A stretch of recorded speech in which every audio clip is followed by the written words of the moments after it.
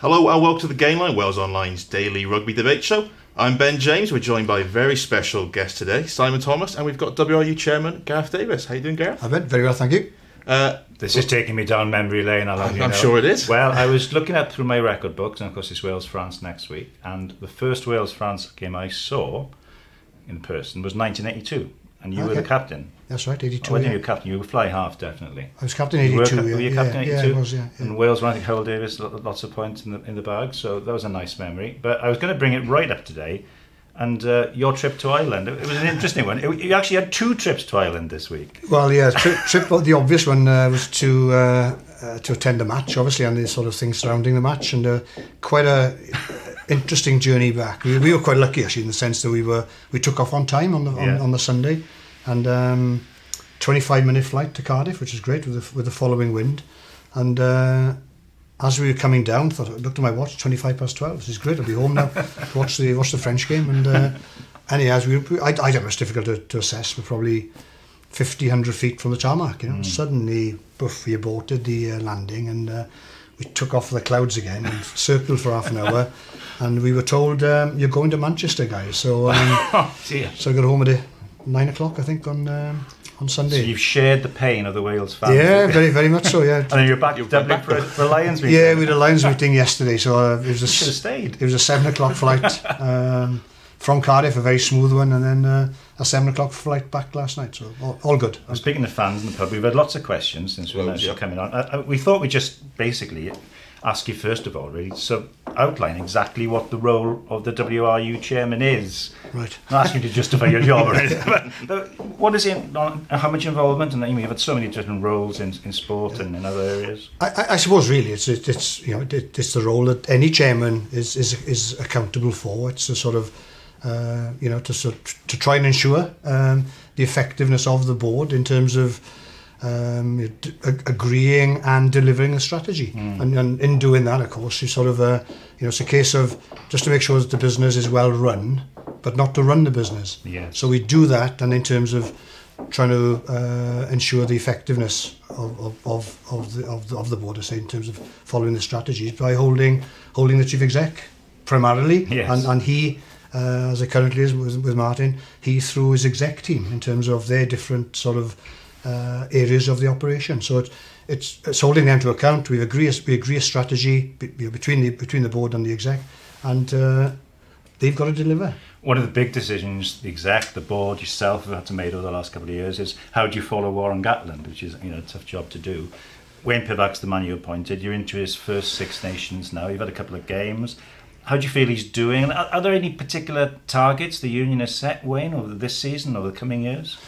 The first thing I'd like to say on that is in terms of following on from what I just said in terms of how we, we, we operate is is the very fact that you know led by Martyn to be fair we, we identified three years ago hmm. that Wa- Warren's going to be finishing in 2019 and I think we anticipated that you know, it, this could be a bun fight for the next coach. Because you know there are cycles now and they, they generally they follow the Rugby World Cup. So we started the first trip we went on was uh, the tour to New Zealand in 2016 where we interviewed and I'm not going to name individuals but we saw about five people on that trip. We then interviewed four or five people back in the UK uh, dur during 16 17 and, and we came up with a short list of three. So you know obviously the proof of the pudding will be in the eating in terms of how, how, how sort of Wayne gets on, obviously, and he's, he's more than aware of that. But um, I think so th- that sort of suggests that we probably got it right in terms of the process. So we weren't forced down any alley uh, in terms of oh, it's only one coach that's available. We had, you know, in the end we we, we had three three people we we, we, we considered obviously serious, seriously right to the tell end. us who they are? No, not at all. No, um, no, that's to be unfair on the individuals. Yeah. But um, uh, so, so, so I think that, that reflects that, that that part of it was was was um, was well done. I think. So in terms of you know, I don't think there are, there, there aren't any strict KPIs in terms of games won. You know, Wayne wants to win every game, yeah. and that's what that's where he that's where he starts from, and we support him in that. Mm. Um, but obviously, we're, we're realistic as well that you're not going to win every game, and I think even looking at this year.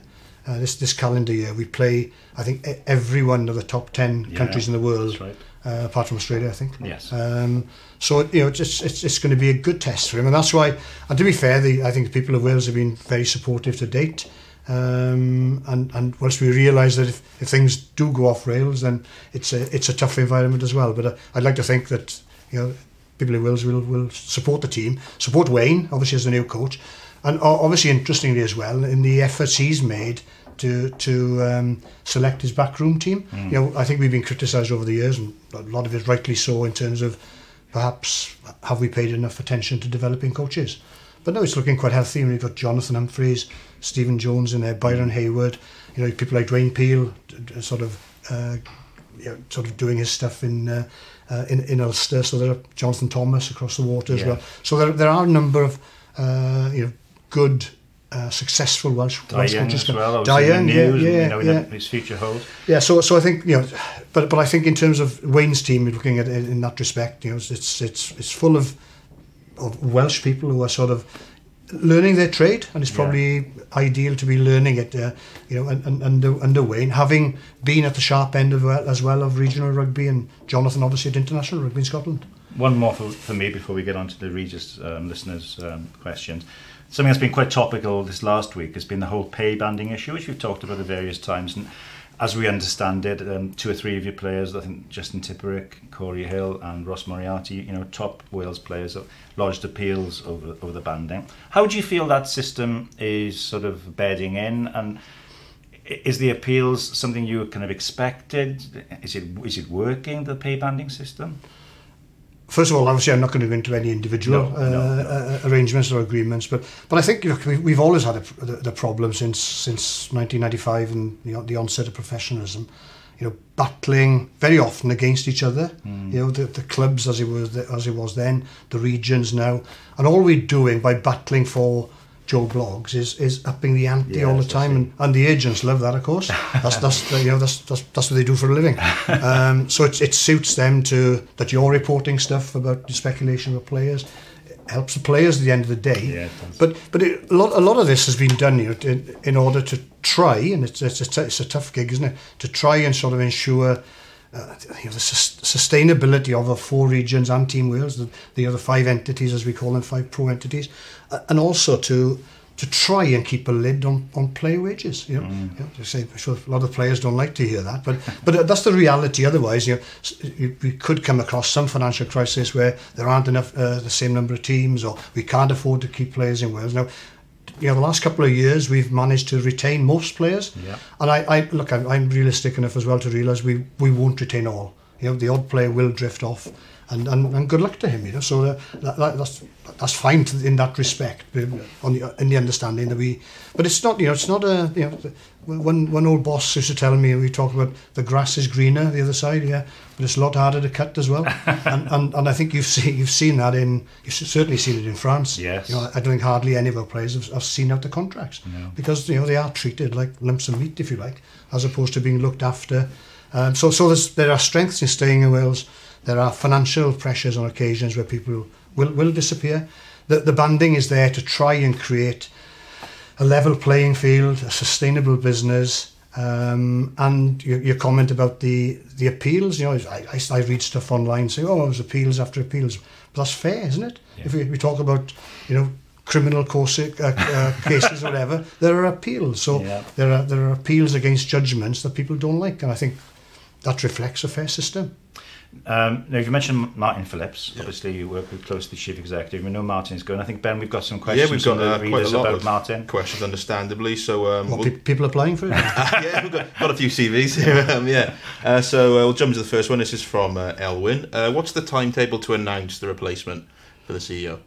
Um, we started the process. Uh, we, we sort of set up as a, a succession group within the Welsh Union. So I'm sort of heading that. Um, uh, Aileen Richards, or uh, independent non-exec, mm. is, is assisting assisting me with that.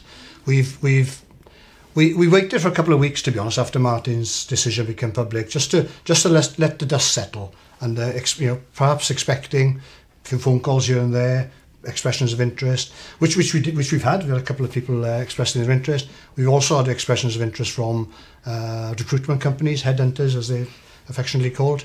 Um, so what, what we did, we, we met in Dublin last Saturday morning and we agreed that we'd go out to um, uh, to headhunters. So we, we're, we're, we're at that stage of the moment where we've gone to half a, uh, five, I think, five uh, companies to say, well, let us know your view on certain things that, uh, that, that uh, would be relevant.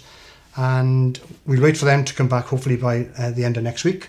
Uh, we'll then appoint a firm, uh, one of the companies, and they will get on and do the search in conjunction with us. So it's difficult to put a, a specific timeline on it, but that's the sort of thread so far. So if we can uh, get a sort of remit agreed by the end of this month, um, then it's you know it, it it'll it'll take a good a good month. I thought it takes to the end of March. Um, we'll, we'll interview. Uh, we'll use. Um, my thought at the moment is to have one of the uh, regional representatives to sit on PRB mm -hmm. uh, to sit on the final panel, together with one of our um, club representatives. So we've got a community game representative on the table and a professional game representative on the table, ind our independent and myself. So I think that's the that's the process without being tied to any sort of time limit.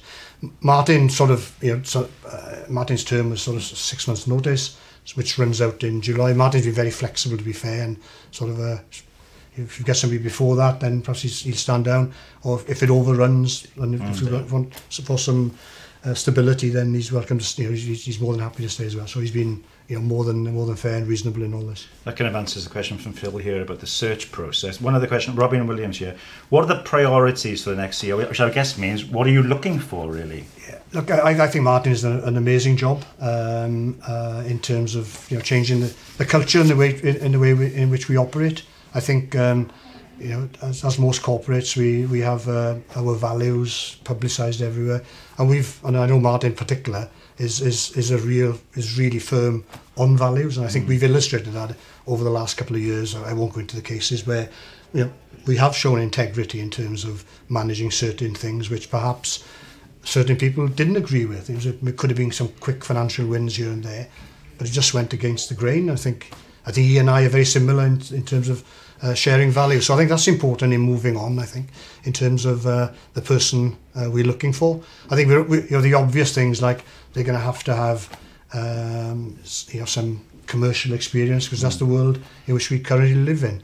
You know you- you're now looking at boards that external boards that we sit on, uh, which are totally different to the ones, the boards of five years ago. Hmm. You know, the, the arrival of private equity and more fi- finances in the game. So the new person will have to be, you know, you'll have to be somebody, he or she, will have to be somebody with you know, pretty good sort of emotional intelligence, I think, to be able to, you know, to carry through from, you know, some some highfalutin boards in in Paris or London through to you know the, the WRU scene, our board, through to community clubs, the professional game. So somebody who can sort of be comfortable in all those different environments. So that that's important in terms of uh, uh, EQ, if you like. Um, one, one thing Martyn has been particularly good at in, in, in terms of developing and leading the team. It's uh, it's, it's not a case of do as I say. It's uh, so I think I, I, funny, I I've sat down with each of the executive uh, over the last seven days on, on a one-to-one -one basis just to find out, you know, where are you guys now? Where do you think the business is? How do we move forward? What do you think? What do you think Martin has brought? What do you think perhaps we, how do we move it uh, forward again? So, so that's been quite interesting as well. And I think, you know, universally there, people have, uh, our colleagues in the exec and at the WIU appreciate the work and the, the sort of uh, the mentoring he's done, if you like, in terms of people's own development. So that's that's been a strength. So I think somebody somebody who would have those skills as well in terms of uh, uh, the, the coaching, the mentoring, um, doing things like this. I think um, Yeah. somebody that's uh, sort of comfortable with that. comfortable with the media. Not everybody is. So fancy you switch your job? Uh, rather, rather too long and tough for me. I tell you. Um, so somebody, you know, somebody is is comfortable with the media. Somebody is politically, and I, I say politically in all areas. Obviously, we we, we, we want to work uh, closely with government, uh, with a small p as well, I suppose, in terms of dealing with all the various stakeholders that we deal with. And it, it's you know it, it is a cliche, isn't it? You can't people you can't please all the people all the time. It's certainly true uh, in, in in Welsh rugby, you know, and because you know ev- everybody does have pockets of self-interest. You can't get away from that. You know, the community clubs are. are- are- They, they want you know they want success at their level, sustainability. The pro game, same thing, but it with different magnitude. Um, so it's a it's you know it's a it, it's a it's a it's a tough gig you know so a lot of people think oh, I'd love to do that job but if you start looking at all the issues that arise you know but it's likewise, it's, it, it, I'm sure it's a great job to, to do as well, being being chief You want, executive. you want to show the all the people coming for it, will you? I, w- I wouldn't have thought so. No, no. But um, but again, you know, I think once you start itemising what we want, so it's the- commercial. It down, doesn't yeah, it, it does narrow it down to a, to a more realistic level. You mentioned the club game there, always an important key thing for yourselves. And we've had quite a few questions about the Welsh Premiership, Oh yeah, yeah. a league that's had a lot of changes over the year. Just what's the kind of the Welsh Rugby Union's view on the role of that league at the moment, in particular in terms of player development? Because obviously you've seen the A team, regional A teams coming in. Is it going to stay as it is for a while? Because there's been a lot of chopping and changing, isn't there? Yeah, look, I'd, I'd like to think so. I think I think I think when I, when I started in the sort of my first couple of years, they there was a, there was a feeling, not just just at the WRU level, but within the clubs that what is our purpose really? You know, are we there to? And I think there wasn't there was a thought while well, you're there now to, to produce players ultimately for Wales. Um, others I think just saw it as a we play in this as it was then 16 club competition and we want to be top because mm. we want to win the league which is which is what sports all about which is great um, and, and there was confusion I think in, in many ways as well and perhaps people weren't were, were spending money in the wrong areas Yeah. and I and, and- it's it's once you start taking money away from people it's you know it's a, it's a huge issue You're seeing that the English we the- Championship yeah, now. exactly. And look, the only thing we did, and I'm, I'm not knocking England on this, but you know, we, we had probably the best part of two years of consultation. There wasn't much concentration in England, but the sound of it. well, no, but so so I think we did it through consultation where we sat down, yeah, for a couple of, for must have been a couple of years, Yeah. led by um, uh, Geraint John was heavily involved, Yes.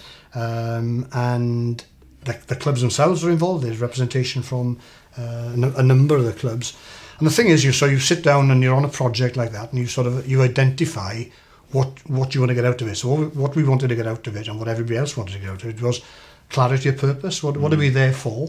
Um, and that was established early on, and I think it was a case of we want to be the best club team in Wales. So if it's Pontypridd, or if it's Cardiff, or mm. Bedwest, or whatever, we want to be the best club team in Wales.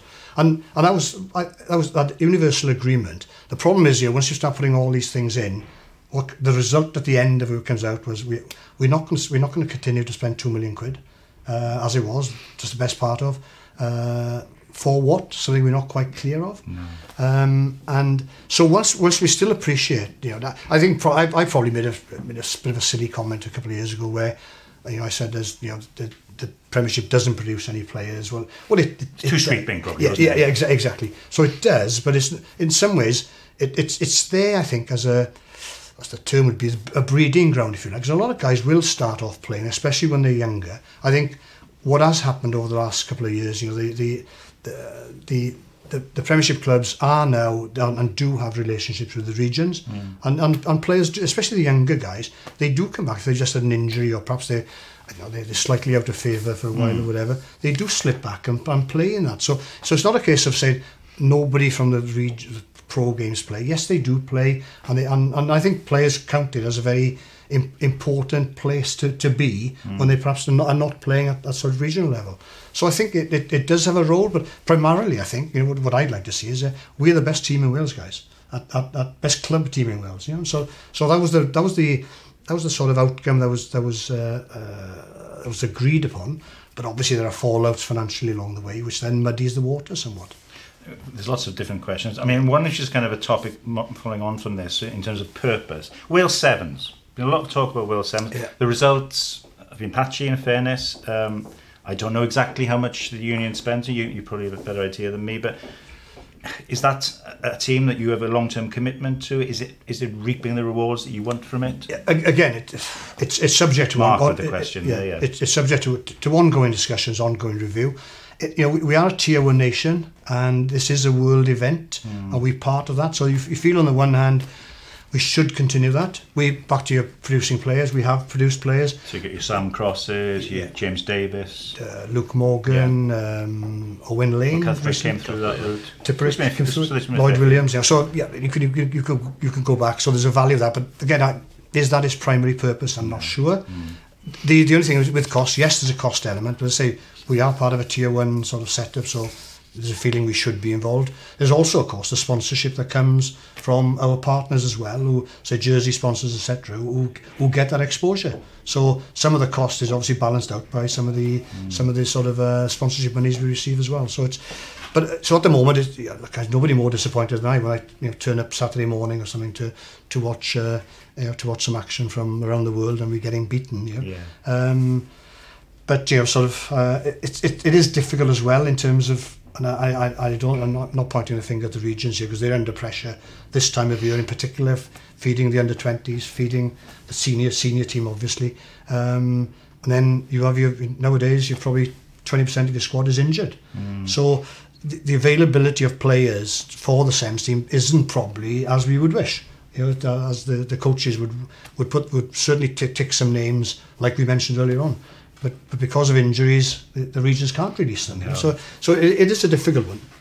Um, one final one on that subject before Ben gives you some more of the readers' questions is, kind of a similar thing. Wales A. Now that's a team that actually was brought back in in theory, I think 2016, 2017 period, with Wales tw under 20s no longer being the capture side. But for various reasons, Wales A since that announcement hasn't played.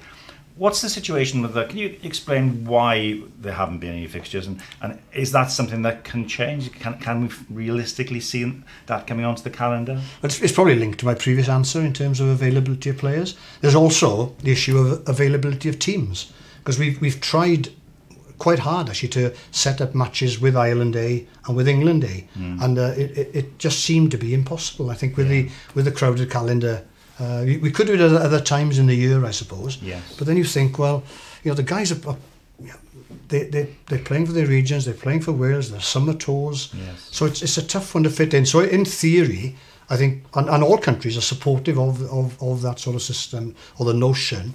But, you know, unless you could get something off the ground like a, like a, a, a national A team league or something, but where do you play it?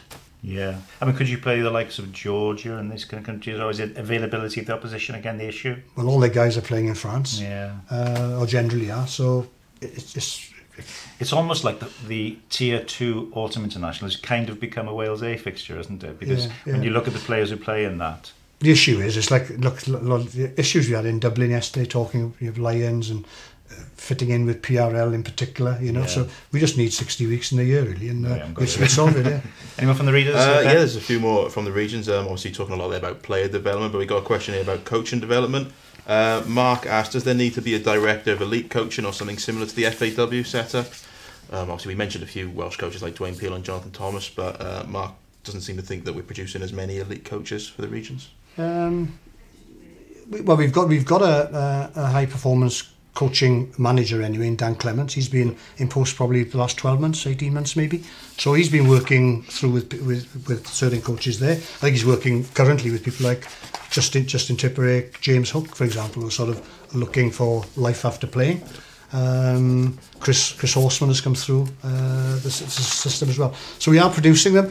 You know, I, I think I said I mentioned earlier. I, I think we, we as a union, you know, we, we have ignored it really over the last 20 years to, to, to a mm. large extent. The priority's been on, on players. But I think now that, that you know, there is a there's an acceptance and a realization of that. So we brought that's why we brought in Dan to try and lead on that pro- processes in place. But you know, the thing is with you know developing elite coaches, that's not something you, you can't just turn the tap on. So that's gonna you know that's gonna be after my time actually. So uh, probably won't be accountable for that then. But uh, um, so so hopefully that the work that's going on there that will start see, seeing the delivery of uh, of top class coaches. Run rather straight to the point from Jimmy JB here. Will the CVC cash be given to the regions? If not, why not? Now, this is obviously a reference to the Pro 14 doing a, a deal with CVC. We heard to take about 27% of them. quite a lot of millions of pounds potentially coming the union's way. Yeah. Is it all going to go to the regions? Well, I don't know. It'll, it'll, it'll, it'll come in. It'll come into us, of course, and the, and the regions obviously will have a, a, a chunk of that. Uh, there's also because the, I was quoted a couple of months ago when I said. Uh, that all the CVC money won't go to the regions. Well, there, there are other... Was my fault. There are, yeah, I know it was, yeah. so brought it up. The, uh, there, there, are po there are possible other CVC deals or private equity deals on the table as well. So the, the where that puts us, I think it puts us in a, in a you know, great to have a pot of money. Yes. Uh, you know, there's a danger, of course. All you're doing is mortgaging the future because you're giving a share of, of future revenues. Yeah. So, um, so we have to be careful, I think, how, as to how we manage that. Because what we're not going to do is throw the money out the window first day. Because I think I know what'll happen to it. Will it get spent?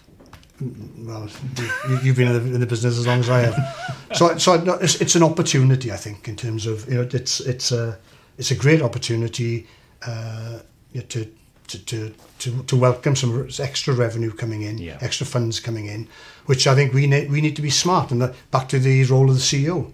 Um, you know, I think it's a great opportunity to have money, but we have to be smart as to how we use it to best effect. Yes, you know, obviously the, the, the, the regional stuff's important, there, but there'll be other projects as, as well that hopefully will generate monies that will go to the community game, yeah. will go to the professional game. So it's not just a case of using the money to spend it on players. I think it's got to come in to sort of, uh, uh, if you like, un underpin uh, the, the game in Wales, not, mm. not, hmm. not just a, a, se a section it. No, the, some of the, obviously some of the Pro 14 money, if that does come in, you can see the, the, the regions have a strong claim to, to, yes. to a large part of it. Yeah? So but I think we're going to be more than reasonable in that uh, in that respect. I guess an, an obvious follow-on question from that, in terms of CVC coming in, is that people are the assumption being made CVC are coming in, they're coming to the Premiership, they're coming into the Pro 14, is the logical move to end up with the British and Irish League. So are they are the WRU actually act, actively pressing for that? What's your what's your views on the potential of a British and Irish League? Well, you know, this would be on. it certainly started with the Anglo Welsh back in '98, didn't it? And it's, it's 20 years, you know, which, which you could say lost time maybe, but um, there's, there's no formal discussions as such. I think I think there's what the, the thought is. Well, hang on, private equity is bought into uh, the English league. It's Yeah. buying into another league.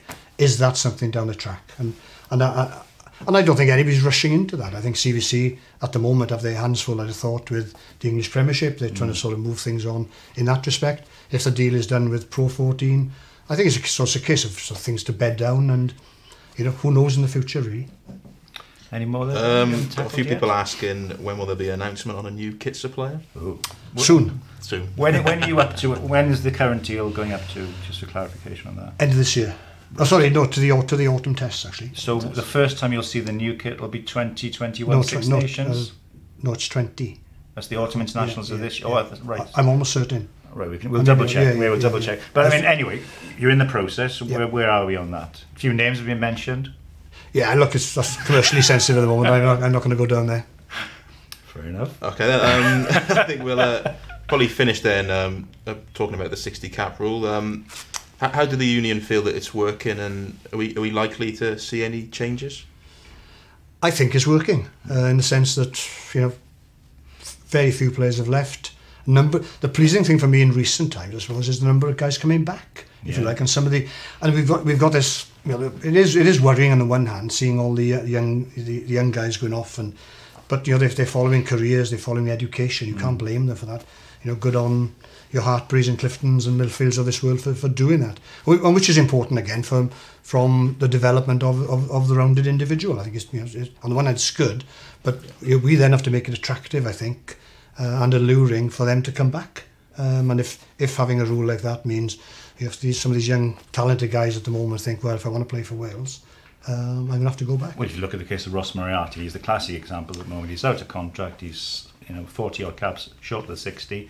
Now, without the rule, there might be a good chance that he would go to England because there, you know there's yeah. potentially offers there. So I guess you, you would see that as an example, and other players as an example of it is achieving its goal. Yeah, look, I think I think it has. I think you know, so there's uh, an ongoing review of it. Mm. I think the, the coaches, the players, and, and uh, our, our you know, colleagues of mine uh, on the exec are sort of continually looking at it. And, you know, nothing is necessarily forever, no. but I think, and, I'm not, and I don't say that in the view that something's going to change shortly, but you know, th these things are constantly under review, and uh, I think that's the way, best way to run any part of the business is, you know, it's not to have finite points when we're going to make decisions, but let, let's see how things go, because especially in our business at the moment, your business of rugby is, you know, it's pretty, pretty dynamic really in terms of the changes that are going on, uh, both internally and externally, so uh, everything is under review. Two questions to finish up then for me. Kind of if you were to sum up how the state of Welsh rugby at the moment, just a kind of general reflection on that, and are you still enjoying being part of it? The, fir- the first, it's an interesting one, right? Welsh rugby is, is, is, is in dire mood if you read social media, and, and, and you've talked to a lot of people around the country. Outside, it's quite interesting, right? And, and one thing I think we've managed to do in terms of, uh, I think, gain and solidify our respect in the world game. Um, guys outside Wales think we think we're flying, right? Now they don't understand, you know, the, the the issues the community game have, the issues the professional game has. You know, so I'm not saying uh, by any means the things are it's utopia. And we've, we, but but it's quite interesting that when when you go to these external meetings, you know, sort of they really think that we that you know. Plus, we're seen in good light, which is a positive, I think. Mm.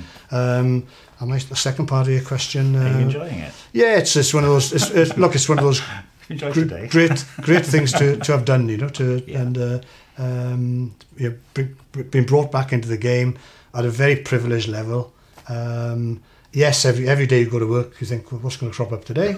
um, and you've been very gentle with me as well. Thank well, you. don't say that. We'll have them all on no. I think there's something nasty to ask him anything else. I think we've uh, I think we worked through uh, all the questions. So I think that's it for today. Um, hopefully, we haven't dampened your enjoyment too much, Gareth. no, no, it's been good. Uh, it's been a pleasure having you on, and uh, we'll be back again, same time, same place tomorrow.